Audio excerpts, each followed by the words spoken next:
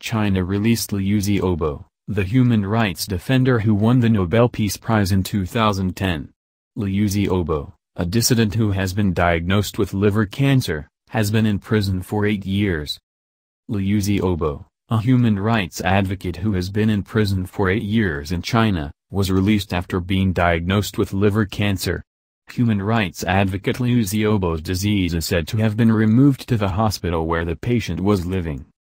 Amnesty International also announced on Twitter account that Liu Xiaobo was hospitalized in Shenyang City.